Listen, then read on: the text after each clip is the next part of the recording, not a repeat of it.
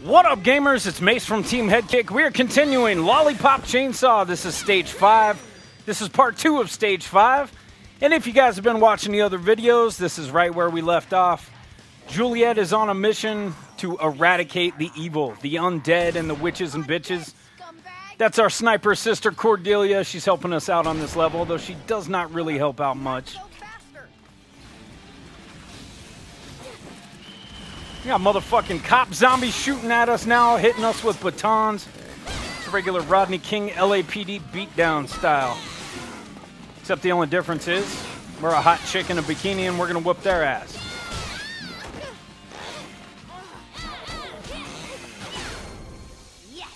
Police brutality. That's a fun topic. Why don't we talk about that for a while? What do you guys think? You know, I always look at it this way. NWA said, fuck the police. But we need the police. You know, I got buddies that are cops. Got a couple of buddies that are detectives, actually. And uh, I tell you what, it is a good idea to have some friends that are cops. It can get you out of trouble when you need it to. Uh, but more than that, when you kind of see what they have to do for a living and, and the kind of bullshit they have to deal with, it gives you an entirely new perspective and attitude towards police.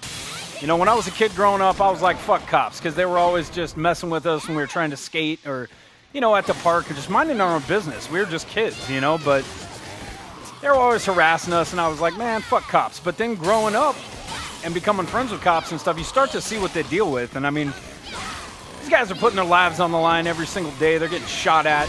Everybody hates them. Nobody wants to see a cop. You know what I mean? So anytime you do see one, you're like, man, fuck you. It's kind of a rough thing, but then you know you go into the brutality, and yeah, I mean, there's there's bad cops, just like any other kind of business, any other kind of fighting in the world. You know, there's police officers that are shady, man. They they steal your weed and friggin' smoke it. Just got 78 coins on that sparkle hunt, and that is friggin' epic. So I'm gonna get a bunch more on this one. Using my special powers against the sub bosses is always a great idea. These guys right here will just give you a shit ton of coins. I wish I could have gotten all three of them in one strike. I would have gotten more sparkle hunting, but look at all these coins. It's a coin fiesta up in this bitch. Now, I love this because I'm such a friggin' noob trying to grab this thing.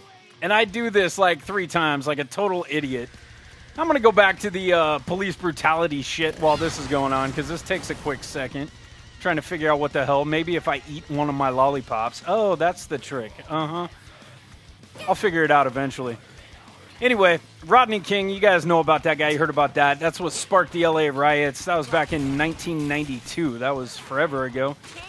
But a bunch of cops beat the shit out of him. And you know what? Rodney King is a criminal piece of shit. He was his whole life. That doesn't justify what the cops did to him, but the irony is not only did he win the lawsuit and get millions of dollars for that, but he continued his same piece of shit lifestyle after that, which really kind of, even though it didn't take away from what the cops did, it kind of showed us. There we go. See, you got that lollipop. It showed us, in fact, that the cops maybe were on to a little bit of the right thing. I mean, granted, they shouldn't have beat the shit out of him like that, and for the whole world to see. And it did create, you know, crazy, crazy tension in Los Angeles. We'll never forget that. Bunch of people died, bunch of shit got blown up, bunch of looters, you know, all that stuff. But uh, he was a drug addict, Rodney King was. He was a spouse abuser. He used to beat the shit out of his girlfriend. He ended up drowning in a swimming pool. And everybody was like, oh man, what a poor guy. He drowned in a pool. And then they find in his body he had crack and cocaine and weed and meth, like just horrible, horrible shit, alcohol, you know. And uh, then then you look at that and you're like, well, you know, the guy's a criminal. I mean, fuck, the cops weren't really that wrong, were they? And you know, I can't stress enough that they were wrong to beat the shit out of him. I mean, there's never really a case where any human being should be held down and beaten mercilessly. You know, except maybe maybe Justin Bieber, uh, just for fun. I'm kidding. I'm fucking around you know, so I'm glad the dude got his money, but you know, he could just continue to live his lifestyle like a piece of shit, and that's what cops deal with every single fucking day. And so it's changed my perspective towards police. And uh, you know, like I said, I got buddies that are cops, and I've raced a couple of them. I like to race, and one of my buddies who will remain unnamed, I went to high school with. He became a highway patrol He has one of those really badass highway patrol cars that's like a bass car or whatever it's called. Thing or an interceptor, that's it. Those things are made for speed. They're made to catch you. And uh, I used to have a really badass WS6 Trans Am all pimped out, all tuned out, and I could smoke him. Anytime we would race, I would dust him. And he always told me, he was always like, listen, man, if you ever want to run from the cops, you're, you're the kind of guy that could probably get away with it. He said, you know, you can never outrun radio and you can never outrun the helicopter, but if you know how to drive and you got a car with horsepower, you stand a chance. Now, I'm not suggesting you run from the cops, I'm just telling you what he said. But I had a lot of fun with that. Anyway, that's enough ranting about police and police brutality and Rodney King and all that shit. I will move back into the gameplay. You guys are seeing more of a mix now of the zombies. You just saw football zombie on stage five, which is supposed to be the last level. I'm going to go ahead and give you a little spoiler alert right now. It is not the last level. Uh, it is the last real in-game level, but after you beat this level, Killabilly comes around He's a big fat Elvis looking fucker who is the final boss. And yeah, so that's who we're going to get to deal with. But there is a stage six. It is a short stage, and you guys will see that. I am so excited to be getting towards the end of Lollipop Chainsaw. I cannot even tell you. I've been playing so many other games, and it's not that I haven't had a great time playing this, it's just that, man, is a full playthrough a massive commitment. It is such a massive commitment for you guys that make machinima videos and YouTube videos that do full playthroughs, my hat's off to you. Uh, I've done a million playthroughs in my life in video games, but look at that ass. I'm sorry, I gotta just stare at that for a minute. If you try to bend her over, she covers it up, which is ridiculous. I really wish they wouldn't have done that, because I mean, I could just sit and stare all day. But uh, yeah, back to the playthrough thing. I just I just don't have the time in my life because I game so much and I record so much to actually do all that, make music videos as well, which is my true love. I love doing that. Uh, but then coming, coming and doing full playthroughs, I mean, they take an incredible amount of time. By the time you capture all the footage, edit all the footage, I, it's just ridiculous. It's it's crazy. So, my hat is off to you guys who have done a bunch of full playthroughs. Um, I've done a couple, and you know, when Halo Reach came out, I decided I was going to do one for that. And after about the third video, I was like, screw this. I'm not going to play all the way through this campaign. No way. This is our other sister, the younger sister. We deal with her in stage two or stage three, I think, the O'Bannon farm. But she's helping us out. This is Rosalind. And throughout this whole thing, the recurring theme is that she cannot drive, and that is definitely the case on this level. She is driving a friggin' what's it called? A like demolishing wrecking ball, big ass tractor. And she's gonna kill some zombies for you, knock stuff out of the way for you, and allow you to continue out of that huge tractor. But just like your other sister, she doesn't really help out much. She just kind of paves the way for you. You always want to look around. That's what I'm doing right now. I know it looks like a time waster, but there are still lollipops and things that I have not found throughout the game. And that's after doing like five playthroughs. And every playthrough, I find one that I didn't find before.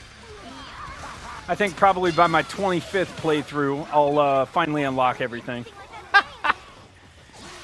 But no, that's not the case at all. I have not been an achievement whore in quite a while. I used to care about achievements now I just get the ones that I care about. You know, sometimes I'll make a video for something like uh, on Dead Rising 2, I actually took the time to get the Zombie Genocider achievement. And that took like eight hours for 20 points. You know what I mean? So, I don't know. It's not really worth it. And some of you guys are achievement whores, and some of you guys aren't. You know, and I like to put myself right in the middle. Sometimes it matters to me, and I got to get them all. Sometimes I just don't give a shit especially when they're incredibly hard, time consuming achievements. There was one for Final Fantasy, I will never forget this. It was, I think it's still one of the hardest achievements ever. Each one of the achievements was to level a certain class of character to its highest level. Well, each one of those would take you 100 plus hours of gameplay, and there were like 12 of them. It was ridiculous. So you can only imagine playing 1,200 hours of a game I mean, I, I, the only games I've ever done that with are shooters. You know, I'd say like Halo 3, I definitely have that many hours in. You know, I've got like 78,000 online multiplayer kills, something like that. So you can imagine it takes a while. But I don't know. Are you guys achievement horrors? Let me know. You know, I, I like to interact with you guys. Put it down in the comment section below.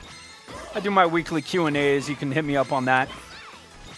This is another one of these little jumping button mashing games. But this one's cool because at the end of it, everybody dies if you do it right. You're already dead. And then well, blam, everybody blows up. So that's really cool. And then you got some more little sub bosses here. I'm just gonna wasteoid these fuckers and keep moving.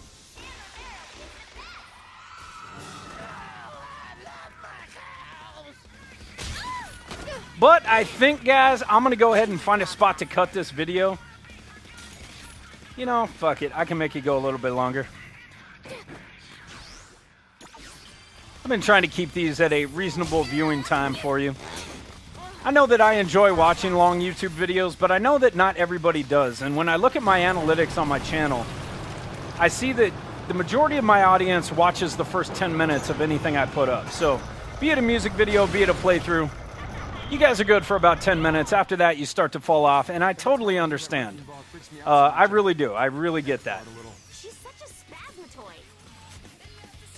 You know, like I said, I've watched full movies on YouTube. I've watched two hour uploads, but that's not for everybody. Most of you guys are just checking out YouTube, see what's going on before you're doing your own gameplay or before you're going to school or going to work or whatever it is the fuck you're doing. We all got fun, busy, crazy lives. So she's freaking out with the wrecking ball. This can hurt you here. You got to be careful. Uh, you got to shoot the little flying guys around her and save her. And then you'll be able to move forward. And like I've said in a bunch of these videos, anytime you kill three zombies in quick succession or more, and you can do it by shooting, you enter sparkle hunting and get a ton of coins. So you definitely want to do that. Just like that. And I can see I'm actually racking up a nice little uh, thing of coins over there. So I'm going to have to figure out a place to go spend them.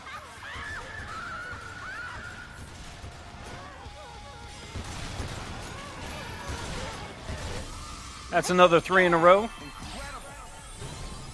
It's actually incredibly hard to be accurate in this game with the uh, Nick Cannon. And it's because there's an auto aim on it, and they did a terrible job with it. If you quick scope and just kind of zoom in real quick and shoot, then the auto aim doesn't really affect you as bad. But uh, man, is it friggin' horrible! You'll pull it, and you'll see if you watch through this playthrough of you know a bunch of these videos that I screw it up a million times. I'm trying to shoot one guy and then it auto aims to someone else. So anyway, guys, that's it. It is your boy Mace from Team Headkick. I got part three on the way after this one. Thanks for watching. You guys have an epic fucking day. Peace.